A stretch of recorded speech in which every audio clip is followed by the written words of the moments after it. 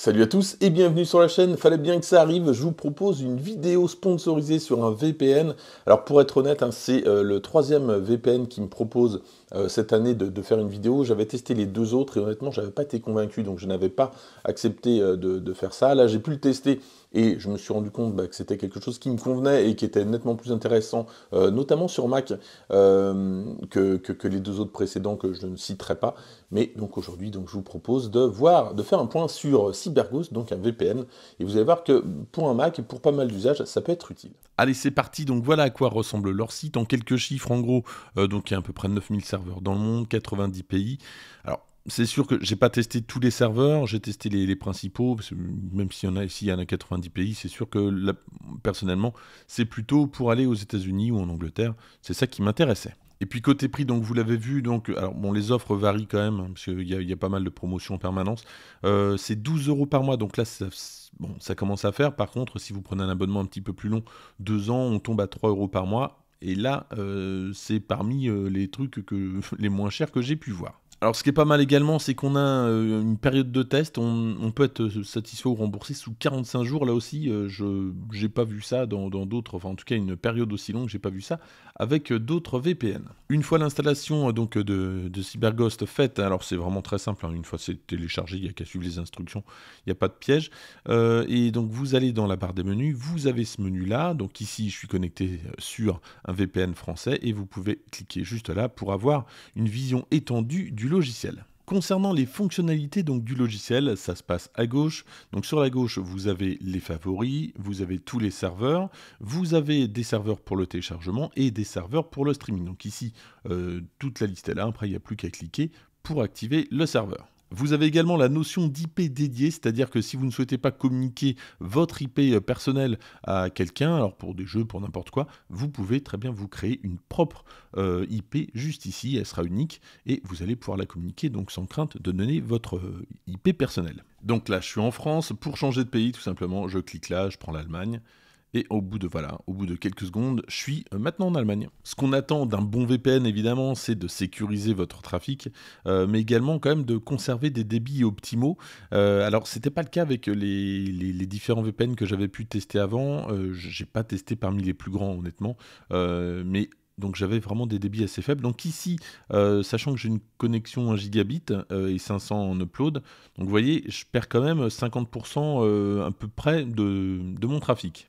Alors d'ailleurs, un 50% en download et bien plus, hein, puisque j'ai que 170. Donc là, je suis euh, en, Andorre. Bon, c'est pas, c'est large, 170 hein, en upload, il n'y a, pas de problème. En tout cas, vous voyez quand même qu'il y, a de la perte. Donc je vais basculer sur un serveur français. Voilà, c'est le premier sur lequel j'étais tout à l'heure. Et je vais refaire tout de suite le test. Alors on voit déjà qu'il y a de la perte, mais avec les autres VPN, donc c'était pire. Donc, euh, en France, ah oui, c'est mieux. Donc là, ouais, je suis à plus de 800. Donc là, c'est quasiment euh, optimal par rapport à ce que j'ai en réalité, sans VPN évidemment. Et d'ailleurs, ça, ça, c'est à peu près les scores que j'ai avec le VPN, euh, enfin, si je puis dire, le, relais privé d'Apple. Hein.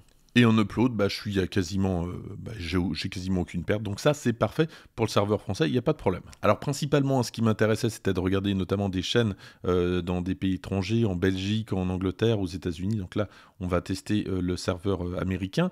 vous pouvez également bah, avoir des, contenus additionnels sur Netflix, des contenus qu'on n'a pas, alors soit parce qu'ils ne sont pas disponibles en France, soit parce que la chronologie des médias l'interdit en France. Donc vous voyez là, en download, donc le le, test est relativement correct. donc je suis à plus de 500 largement. Euh, par contre, en upload, j'avais fait des tests. Voilà, donc là, c'est pas, euh, c'est pas foufou. Donc, sachant que je peux monter jusqu'à 500, donc il y a quand même de la perte. Bon, en tout cas, c'est large pour faire ce dont j'ai besoin. Et puis pour ceux qui n'auraient pas encore capté tout l'intérêt euh, du VPN, alors si personnellement c'est plutôt pour regarder des, émissions euh, des chaînes euh, américaines, anglaises ou belges, je vais faire comme Thierry maintenant que je salue Thierry qui est souvent sur, dans les commentaires, je vais pouvoir regarder la télévision belge.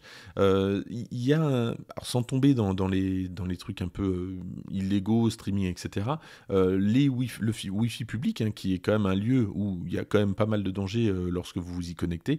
Là, avec ce type de VPN, vous allez avoir des données cryptées, donc ça renforcera votre sécurité sur les Wi-Fi publics. Et puis pour ceux qui auraient des utilisations un petit peu étranges d'Internet, alors que ce soit pour regarder des, sites ou, autre chose, de faire des téléchargements, donc le CyberGhost en fait explique que ces serveurs donc principaux sont, sont roumains, donc dans un pays qui, où la législation n'est pas trop contraignante, en tout cas concernant le, la récupération de données. Et puis donc ils expliquent que chaque donc serveur, c'est pour ça que c'est sécurisé, en fait sont effacés après votre passage, etc. Donc normalement on ne vous retrouvera pas. En tout cas, c'est ce que promet CyberGhost. Voilà ce que je pouvais vous dire sur CyberGhost, alors qui est compatible Windows, Mac, iOS, Android et même Apple TV. Vous allez pouvoir l'installer sur cet appareil au maximum, donc c'est quand même plus intéressant que le simple relais privé d'Apple, hein, qui n'est pas aussi complet et aussi protecteur.